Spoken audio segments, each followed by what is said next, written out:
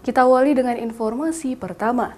Saudara hingga kini vaksinasi COVID-19 bagi warga Aceh terus berlangsung dan salah satu kelompok sasaran yang divaksin adalah warga lansia. Hingga kini sebanyak 3.000 lebih orang lanjut usia atau lansia di Aceh sudah divaksin COVID-19. Data dari Satgas COVID-19 menyebutkan, hingga tanggal 20 April 2021, jumlah lansia yang telah menerima vaksin tahap pertama di Aceh berjumlah 3.083 orang atau 0,7 persen dari total 435.651 orang.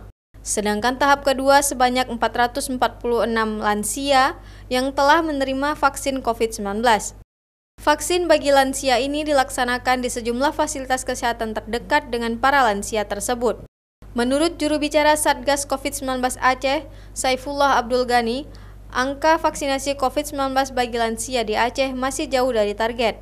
Namun dirinya mengatakan seluruh petugas kesehatan di daerah dan Satgas Covid daerah terus bergerak melakukan motivasi bagi lansia untuk melaksanakan vaksinasi agar kekebalan tubuh dapat terbentuk sehingga dapat terhindar dari paparan COVID-19. Sementara itu, kelompok sasaran lain yang telah mendapatkan vaksin COVID-19 di Aceh yaitu pelayan publik. Petugas kesehatan di daerah dan tim Satgas penanganan COVID-19 di daerah untuk meninjau untuk memotivasi para lansia mengikuti vaksinasi lanjutan, vaksinasi eh, dosis kedua, eh, sehingga akan terbentuk antibodi yang sempurna. Target petugas publik sebanyak 478.489 orang, di mana 50.405 orang telah mendapatkan vaksin tahap pertama dan 33.762 orang telah mendapatkan vaksin tahap kedua.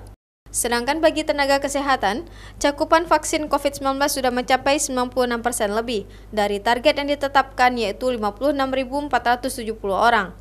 Di mana tahap pertama, nakes yang sudah divaksin berjumlah 54.666 orang dan tahap kedua sebanyak 50.662 orang.